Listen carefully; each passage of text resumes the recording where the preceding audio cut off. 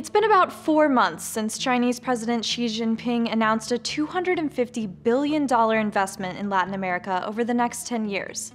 Now his prime minister is in the region getting into the specifics. The plan is being called China's pivot to Latin America by some analysts, a dig at the Obama administration's own pivot to Asia. Prime Minister Li Keqiang signed agreements with Brazilian and Peruvian leaders to start research on a potential railway that would stretch from the Atlantic Ocean coast of Brazil to the Pacific Ocean coast of Peru. That would make it easier for countries to ship goods by boat to China. Li also discussed other investments in Brazil, which could all add up to more than $100 billion. That included rhetoric about defense and a new global order. And relationship strengthening stops in Colombia, Peru, and Chile were also on the agenda. If all these reports uh, come true, he's going to be known as Kaching Keqiang by the time he leaves the hemisphere. The Chinese have already lent more money to Latin American governments over the past 10 years than the Inter American Development Bank, the World Bank, and the U.S.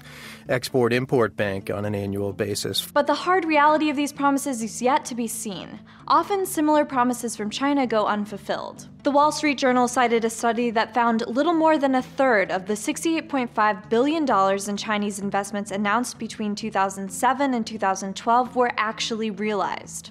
The Latin America director in the Washington office of the Eurasia Group told the Washington Post there are converging interests on both sides to follow through on all these promises. But he added it's always good to take the numbers they announce with a grain of salt. And there are also concerns about how a transcontinental railroad would affect the environment and human rights in the region.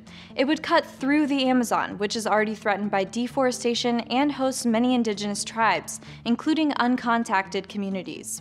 Those concerns are similar to the pushback against another Chinese attempt to further connect the Pacific and Atlantic, the Nicaragua Canal. The private Chinese company behind the plan has started surveying and building roads in preparation for the project. Still, despite the hangups, it's clear China still has its sights set on Latin America, both for the economic benefits and for regional influence. I'm Kate Grumke for Newsy, News with the Y.